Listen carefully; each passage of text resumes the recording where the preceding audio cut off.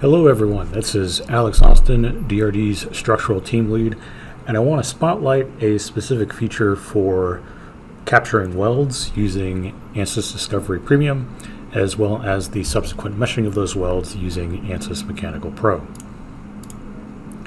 Now the objective here of these features is to streamline weldment analysis using a simple weld tool in Discovery Premium, and then couple that with the ease of meshing those welds in Mechanical Pro.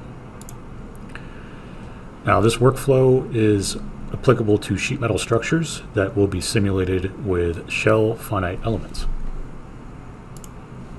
So we'll step into ANSYS Discovery Premium here real quick and what you'll notice is I have a fairly simple chassis structure that is currently modeled with solid bodies.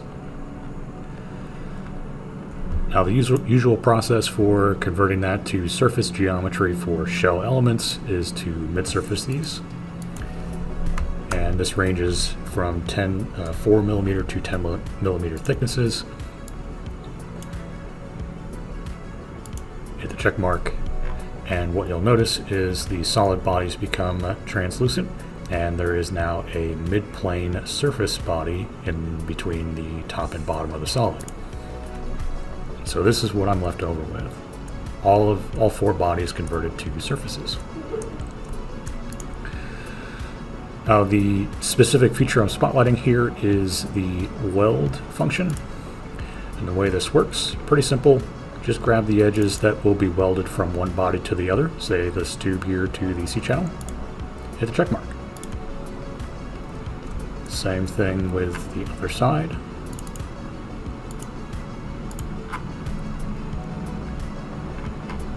Then we can do these plug welds here also.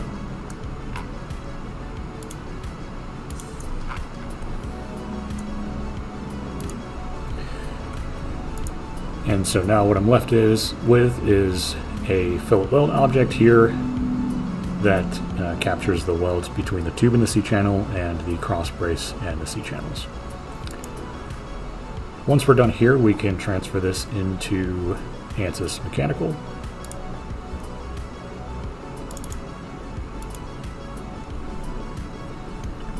And start with the meshing.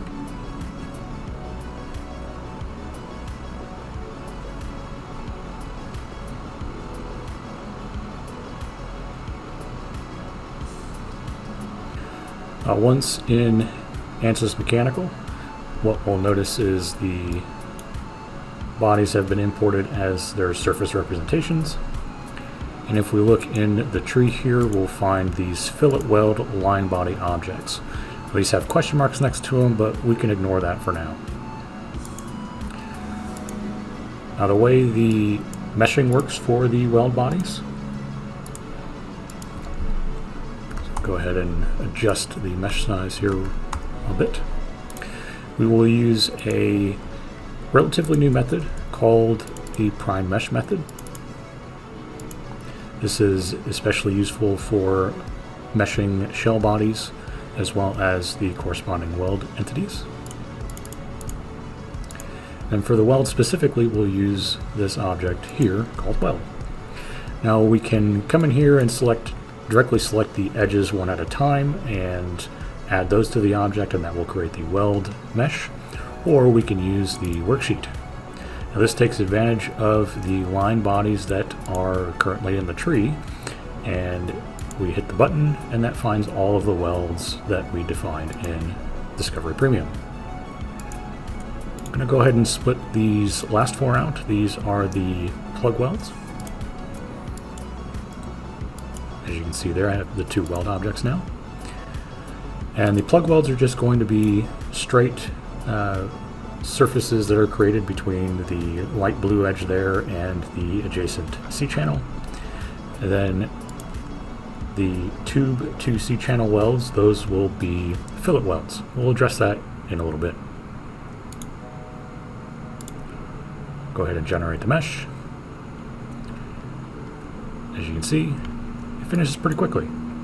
So now we have the straight little body there. You see the tan body. That is the plug welds that were generated. And we can see the same for the welds back here between the tube and C-channel.